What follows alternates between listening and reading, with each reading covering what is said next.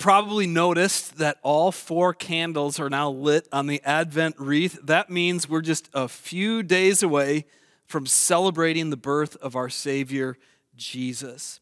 And as we do so, we're continuing in this Follow series. Our focus today is on community. I hope that you were with us last weekend, either in person or uh, online, and we had this great opportunity to respond with our commitments and follow. And we got all kinds of those cards turned in. And it was so great to see people coming forward or filling it out online and then praying about what God is going to do uh, through those commitments as we've all been praying together. Jesus, lead me to listen to your voice and follow you. If you weren't able to do that last weekend, not a problem at all. You're invited to do that uh, today. You can fill it out online. Just follow the link in the chat. You can send in one of those commitment cards to our church office as well at 7380 Afton Road. At this time, kids, it's time for you to head off to Kids Link, a special teaching just for you. Excited for you to hear about God in a way that really makes a difference in your life. Uh, moms and dads, your kids are heading out there. Just a reminder you can grab our scripture card uh, anytime online at info.woodburylutheran.org. And that's a way that you can take the message for today uh, a little bit deeper throughout the week. Just sit in the Word of God, uh, grow in your friendship with Jesus so that your love uh, for Him and others will also grow. Uh, our text today, our reading comes from Acts chapter 2, verses 42 through 47. In my Bible, this section is titled The Believers Form a Community. All the believers devoted themselves to the apostles' teaching and to fellowship and to sharing in meals, including the Lord's Supper and to prayer. A deep sense of awe came over them all, and the apostles performed many miraculous signs and wonders. And all the believers met together in one place and shared everything they had. They sold their property and possessions and shared the money with those in need. They worshiped together at the temple each day, met in the homes for the Lord's Supper, and shared their meals with great joy and generosity, all the while praising God and enjoying the goodwill of the people. And each day the Lord added to their fellowship those who were being saved. This is the word of the Lord. Father, move us into real and authentic community with other followers of Jesus. Amen. Uh, let's pray. Uh, Father, thanks for this time together. Grateful that we can gather uh, to share our, our praises of you, to be fed by your word. And so we pray that your spirit would be drawing us closer and closer to you and into real and authentic community, that you'd be glorified. We pray in Jesus' name. Amen. Well, glad that you're back with us today as we continue in this follow series. I think this is week six now, and the whole uh, idea behind it is we're praying this prayer Jesus uh, we want to listen to your voice and we want to follow you. So, all the distractions uh, around us can drown out the voice of Jesus, and yet He's constantly inviting us to come and listen to Him.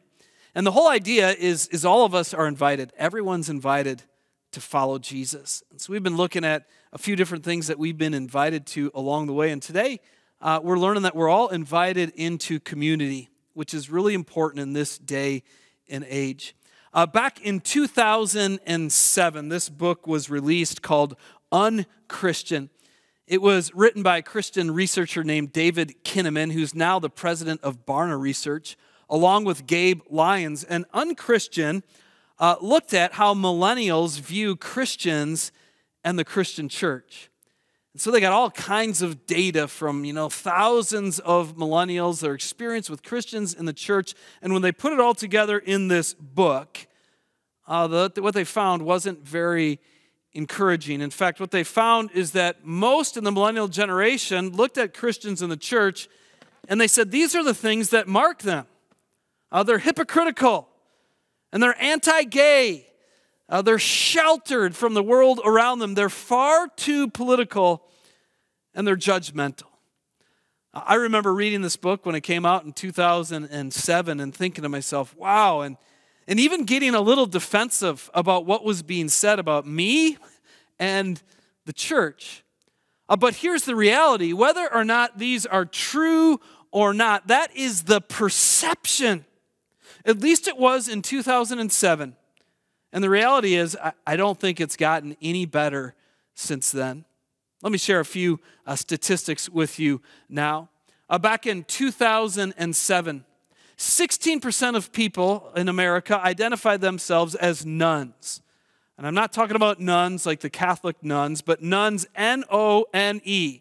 No religious affiliation at all. So 16% of Americans in 2007. In 2021, just last Tuesday, Pew Research came out with their, their study on this, and they found that today, 33% of Americans identify themselves as no religious affiliation at all.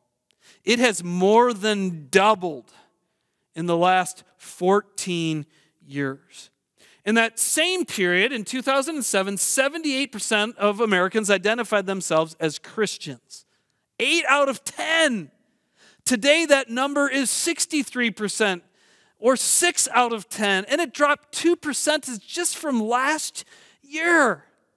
However, you cut these numbers, however you look at them, one thing is certain that there is a, a huge shift in faith that is happening in our culture, and it can't be ignored. And the same time that, that this is going on, there, there's something else happening within our culture, and that's a, a new pandemic. And I'm not talking about COVID, but I'm talking about the pandemic of loneliness and isolation. A Barna Research just recently came out with some numbers that said more than 31% of adults in the United States of America are dealing with loneliness in a significant way that is impacting their lives. One third of people. Now, there's all kinds of reasons why loneliness is more pervasive in our culture today than it's ever been before, but it's hard to ignore these numbers and not think that they have something to do with this new pandemic of loneliness in our culture. It's almost like we, we traded one set of problems in institutional religion for another set of problems over here in loneliness. Uh, in her book, The Loneliness uh, Epidemic, Susan Mettes says this Loneliness is the distress someone feels when their social connections don't meet their need for emotional intimacy. Loneliness is a thirst that drives us to seek companionship, or perhaps better, fellowship, which is real, meaningful relationships done in life. Without fellowship, we go on needing others. That last line really grabbed my attention. Without fellowship, we go on needing others. And so, whether you consider yourself to be an introvert or an extrovert, the truth is all of us need real community, true fellowship where we can walk through life together.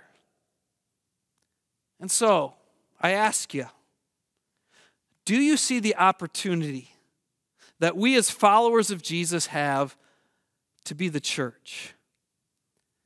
We can look at those numbers and get frustrated by them, get angry by them. We can say it's, it's simply the result of living in a post Christian culture, which we live in today. Or we can stop and we can take a look in the mirror, a good long look in the mirror, and say, are those numbers maybe the result that we as the church have been getting how we live as the church wrong for a long, long time?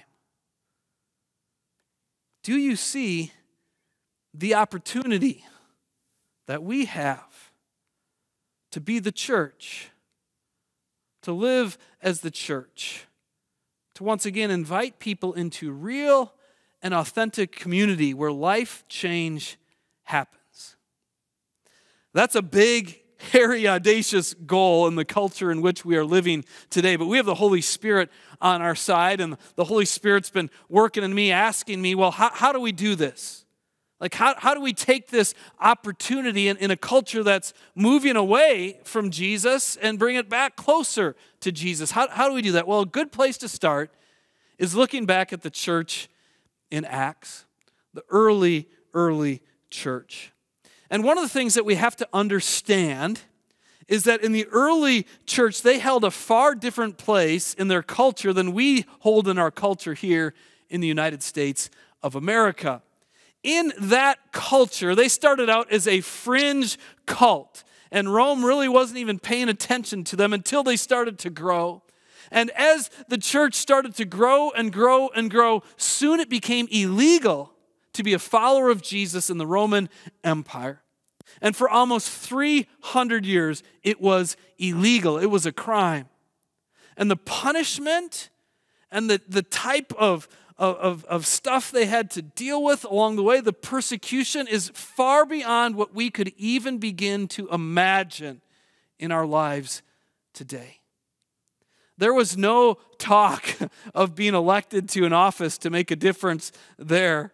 Uh, there was no way that they were going to be setting policy. It wasn't even on their radar. Instead, they were focused on how do we live in community as followers of Jesus in a culture where we have no say, where we are not on the high ground, where we are not influencers by any of those other ways. And so they had to figure out a different way to influence the culture. And I got to tell you that no matter what was done to them, to get this little group, this little movement to stop growing, none of it worked. None of it worked. And that's because at the heart of what they were doing was attractive to the culture around them because it was so countercultural. And so, as, as the people outside of the faith looked at these Jesus followers, they saw something different. They saw a group of people who were willing to sacrifice for one another in incredible ways. And not just for each other, but also for those who weren't even in their little fellowship, in their community.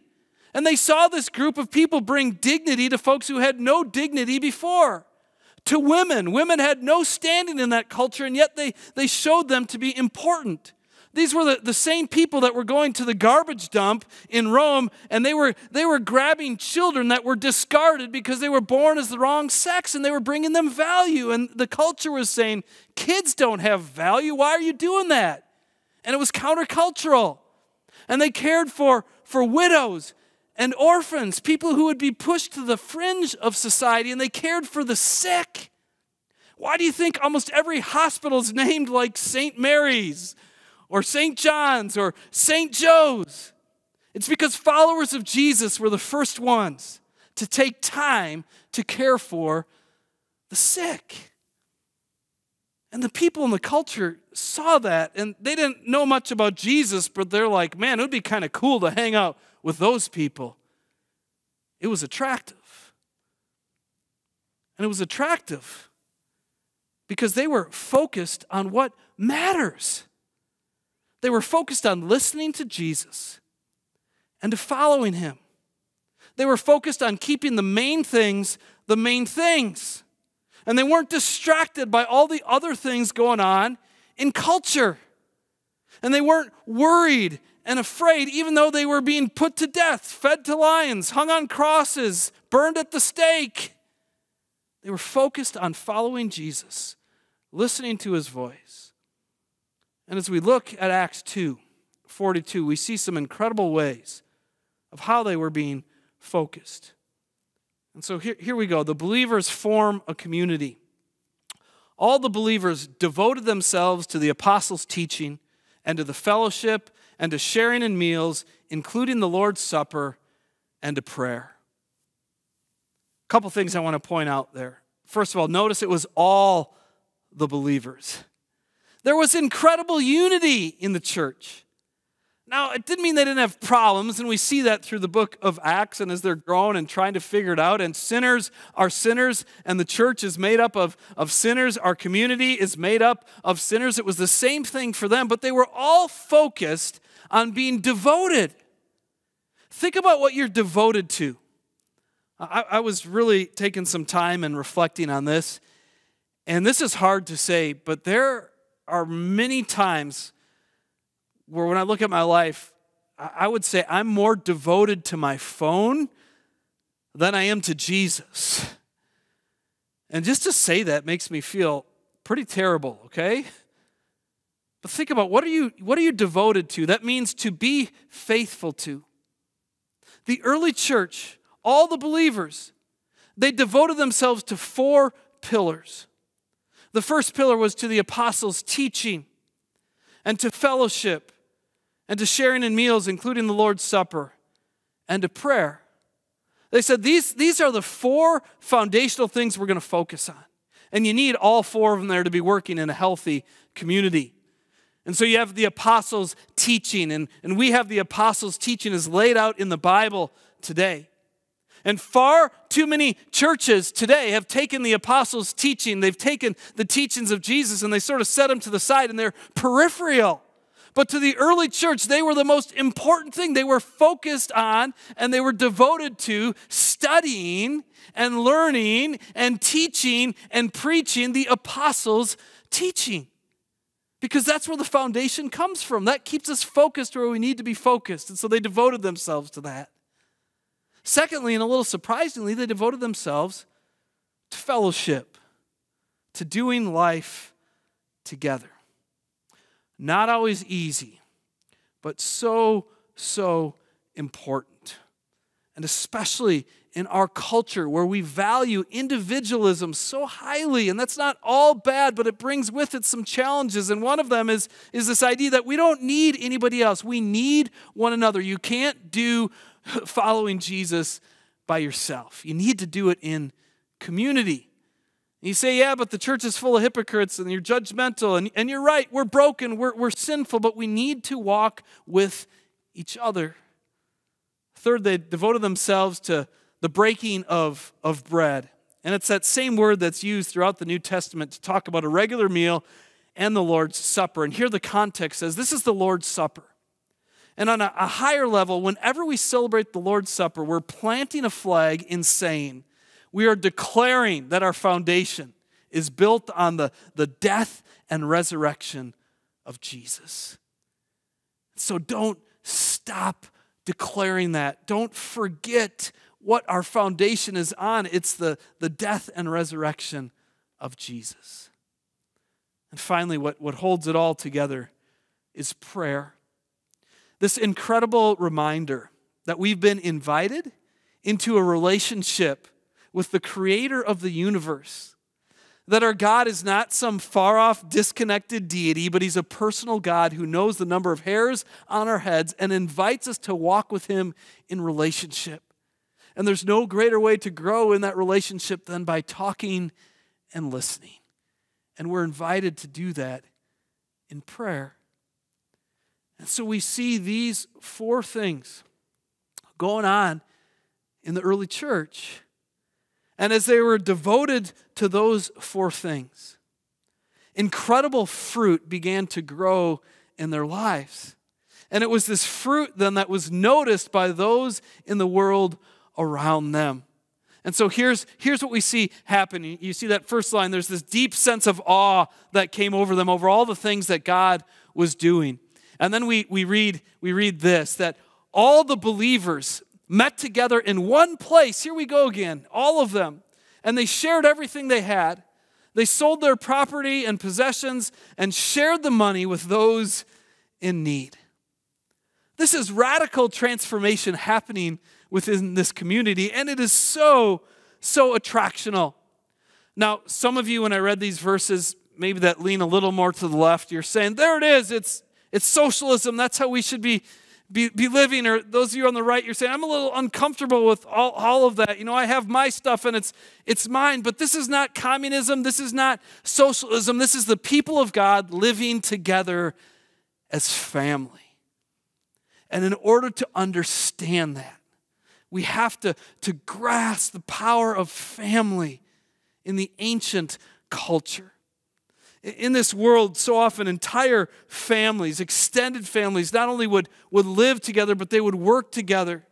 And so you would have cousins working together and aunts and uncles, and it would be generational. And when they would make a sale from, from their crops or doing their blacksmith work or whatever it was, it wouldn't be just theirs, it would be all of theirs. They would share it, it would be for one another. We see this in the life of the disciples as they live together as a family. They share with one another. And so the early church is saying that's what we are. We're, we're a family. We've been baptized into the name of Jesus. We follow Jesus. We have fellowship with one another.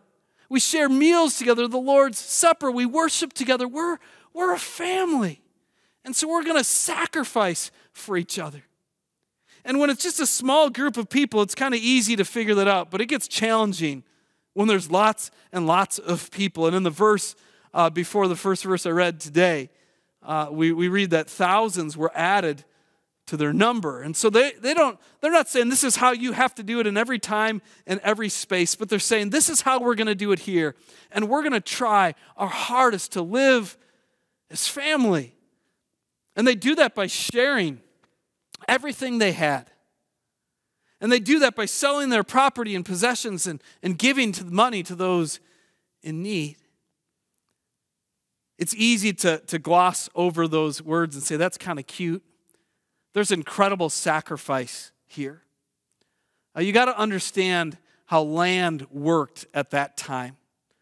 Uh, lots of land would be in a family for generations and generations maybe all the way back to the promise of God that I'm going to give you this, this land as your own. And to, to sell a piece of land was radical. And then to do it not for your own benefit, for the benefit of somebody else was, was mind blowing. And so just imagine you're, you're someone who's buying a piece of property from one of these followers of Jesus, and you're like, why are you selling the property? And they say, oh, you know, Lisa down the street, she's a single mom now and she's got a bunch of kids and, you know, she can't buy food. And so we're going to use some of that money to help her uh, buy, buy food. It's a radical concept and it's attractive, and it led those on the outside to go, I don't know everything about this Jesus and, and all this other stuff you're doing, but is there room for me in your community? Because it seems incredible. And it didn't stop there. They were getting together at the temple each day. They were meeting in homes, again, for, for meals with each other, and they were doing it with, with great joy and generosity. And all, all the while, they were praising God and enjoying the goodwill of all, all, all the people. And each day the Lord added to their fellowship those who were being saved. Of course they were praising God. And of course, he was adding to their number daily those who were being saved because this is how it works. When the church is living together in authentic community, focused on what we're supposed to be focused on, incredible things were happening in this community and in the world around them because at the center of it was something called agape love. Uh, in the New Testament, there's a bunch of different words that are, are translated into English as, as love. But each of these words in Greek have a different focus. For example, phileo is where we get Philadelphia, and it means brotherly love. It's, it's how we love one another, it's, it's friendship. And then there's eros love, which is that, that love you get when you, you hold your significant other's hand for the very first time and that feeling comes over you. And then there's agape love. And agape love is a sacrificial love. It's a love that says, I'm going to do this for you without expecting anything in return. And it's this kind of love that we have received in Jesus. Paul writes about it in Ephesians 2. Even when we were dead in our sins and transgressions, but God, but God gave us his son so that we could be alive in Christ. And in just a few days from now, we're going to kneel down at the manger and we're going to worship our King, our God, who's shown up in the flesh to show us exactly what agape love looks like. And when agape love is at the center of our community, our fellowship, not only does it bring incredible joy to us, even though there's sacrifice involved, but it is attractive to the world around us. And they stop saying all the negatives about us and they start wanting to be a part of who we are. One of my favorite authors and theologians, an Anglican guy named N.T. Wright, he says this There is an attractiveness an energy about life a life in which we stop clinging to everything we can get and start sharing it, giving it away, celebrating God's generosity by being generous. And that attractiveness is one of the things that draws other people in. Our culture is changing. Fewer people are identifying with any religion, much less as being followers of Jesus. Being a, a, follower of Jesus seems like it's becoming more and more challenging in our culture. And there could very well come a day in my time where I, I could be thrown in prison for preaching the truth about who Jesus Christ is and what he has done. We might have to face persecution. And there could be incredible challenges that are in front of us as the church, and it might not look the same as it does today in 20 years from now. And we can complain about that, or we can be scared about it, or we can, you know, get angry about it, or we can do something about it. Do you see the opportunity that we have to be the church of Jesus Christ today? The opportunity that we have to follow, to listen to Jesus, and to go where he calls us. Because here's what I know the gospel of Jesus Christ has not changed from Acts 2. His power has not diminished. Jesus is not like one of those little wind up toys that you wind up and you, you go, and as it goes further, it loses its power. That's not how it works with Jesus. And I know that there are still people out there who need to be rescued.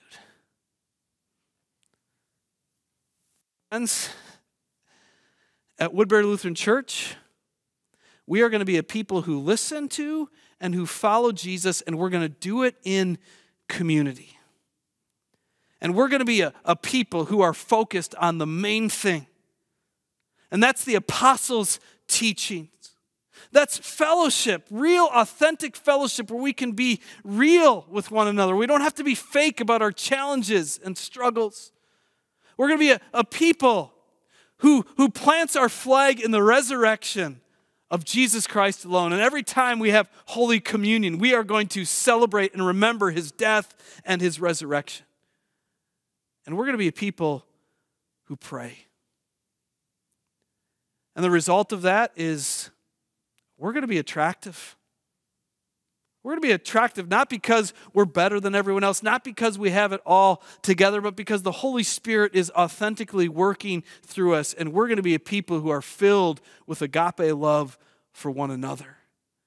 And as we do, the world's going to look at us and, they're going to say, Woodbury Lutheran Church, uh, you all are crazy in the way that you're generous toward each other, the way that you're kind, the way that you love, even those outside of your fellowship. And we're not so sure about Jesus.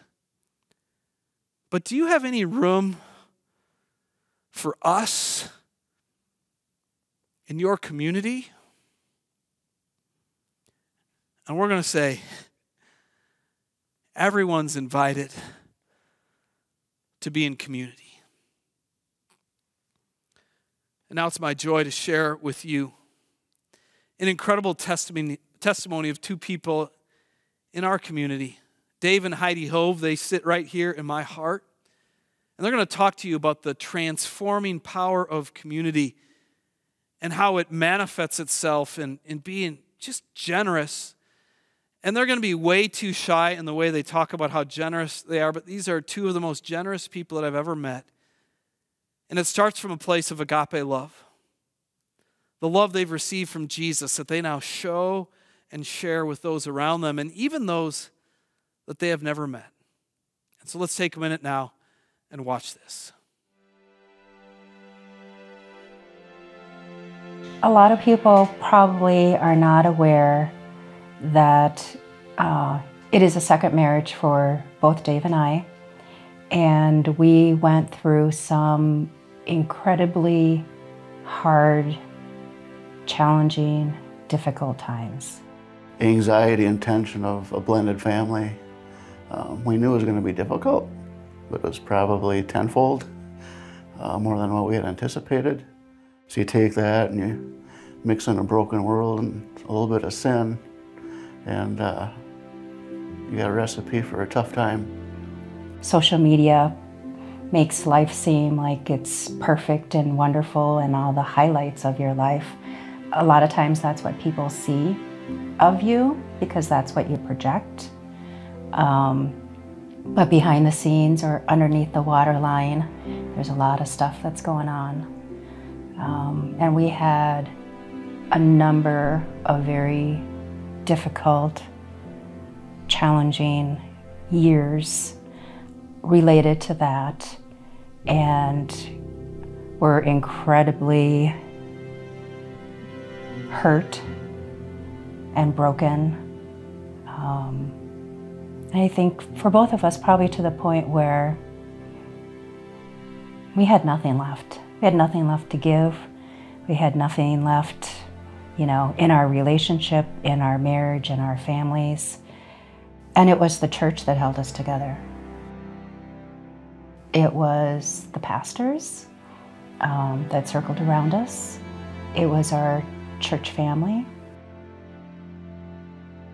Know, we were actually going through divorce proceedings. I mean, we had been through a couple mediations. We were a couple signatures away from being divorced. It's an absolute miracle that we're together. We hear a lot of people say, you know, that we're generous. Um, not nearly as generous as we feel God has been with us. Um, I think a lot of that generosity comes from just being so incredibly grateful for what we've been through and where we are right now. You know, we feel like how can we not have that as our response um, from the things that we've been through. Through it all, through the journey, we've just been incredibly blessed. And Lord has been so faithful to us. And sometimes it kind of ask why. I mean, we're so grateful. Um, and that's what fuels our generosity. And you know, been blessed in certain ways to get involved with certain organizations that you see tangible evidence of helping people in so many ways. And that's, that's what it's all about, right? The joy comes from feel like having been redeemed, having been brought out of the trial, you know. Um, so every day is like I am grateful and find joy in that, and joy in wanting to share that feeling, wanting to help spread that in um, other people, other communities. There's so much brokenness and division to, that's going on that people need to hear about God. They need to hear the gospel. They need to know that through all the brokenness in the world, that there is joy, there is something to come out of the earthly challenges. They may not see it in the way that we have now, but there is. Follow Christ is to just not look to yourself for for where you're going. Um, it's just just focus focus your mind on the Word, focus your mind on Christ, um, see where He leads you. Like, He's been very faithful to us. Um, so just keep following. All the things going on in the world today, you can get depressed, angry, disheartened by a lot of that, but we tell each other focus on the kingdom focus on the kingdom. Follow Jesus, follow, you know, what his message would be, what his words would be, and focus on that.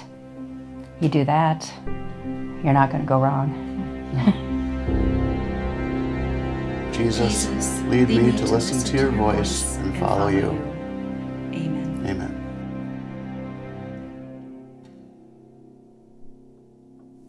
What an incredible story of the power of community uh, at work in the life of uh, Dave and Heidi. And I want you to know that wherever you're at today, uh, there's a place for you in the community of Woodbury Lutheran Church. Uh, you don't have to walk through life alone, you don't have to be isolated. That shows itself in different ways and getting connected in different ways. Uh, but there's a place for you, and the body of Christ here at Woodbury Lutheran will be better uh, for that. And so I want to take a moment and just pray uh, over everything that we've heard in this service and received from the Lord. Uh, Father, we thank you that you have invited us to be in your family, that you have adopted us into your family through the gift of faith uh, given to us by your Holy Spirit. We give you all thanks and honor and praise this day that you have invited us to experience authentic and real community Uh, that not only takes us out of the grip of loneliness, but it brings us life as it takes us up from the grave and raises us to life, even as Jesus is alive. And now may we live that life for your glory, for your honor, that the world around us would see us. And like the early church in Acts 2, that we would have favor from all the people that we wouldn't be known for those things that we're against or our failures, but overwhelmingly, we'd be known for the agape love that we've received in you and now get to share with the world around us. May we do that in a way that honors you and brings you all glory and praise. We pray in Jesus' name. Amen.